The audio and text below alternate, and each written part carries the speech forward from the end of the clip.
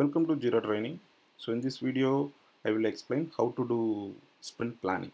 Okay. So last video we have seen uh, creating sprint in the backlog screen. So you have created two sprint here, but go to the active sprint. Which one is active now? So there was one task which is created with sprint one already done. So just let me complete it. Okay. And go to backlog. So the second sprint you have already created but it didn't start. So let's take it started today. The start sprint sprint name you have to give. Something like uh, you can give any name sprint to or uh, release id also you can give release to the duration is week one week. So based on that it will be taking end date if I give two weeks it will change the date. So just take one week. The sprint goal uh, to release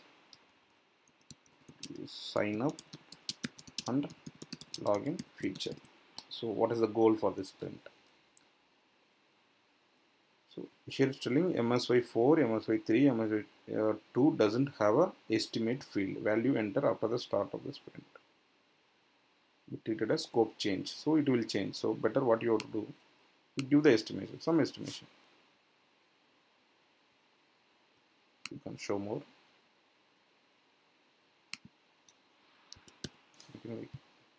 One day.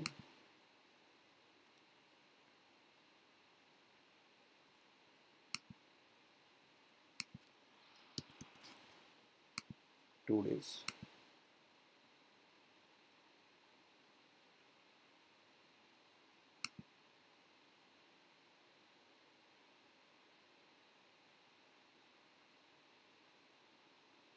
four hours 30 minutes we have given already. For this okay.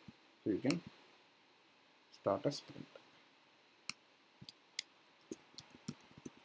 Release to one week. Just start. So this is the sprint board active sprint board. So this is the task assigned to myself and other tasks are not assigned just keep it example assigned to some other persons think it like that. So when I started working on some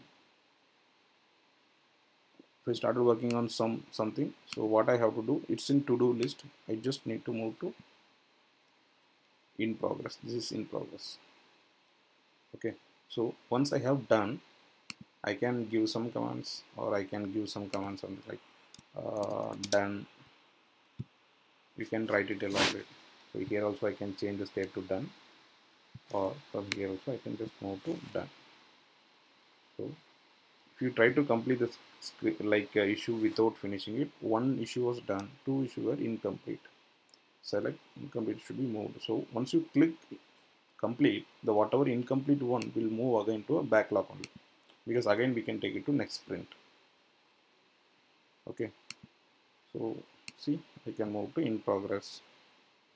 Here you can search in sprint board four days remaining. Today only we have started right? So today and projection end date is 3 July. So this is how we have to plan the sprint. Once all the things are done like uh, we will complete the sprint again we can uh, like create a new sprint from the backlog screen. Create and we can start. So that, that's already I have explained you. Okay so I think you guys have understood how to plan the sprint. So agile process is like uh, very familiar these days. So you should know how to create a sprint and how to manage the sprint. So this is more important in the uh, tool actually. This is the most advantage as well as important. Creating sprint and creating backlogs and all. Okay guys. Thank you for watching. Please subscribe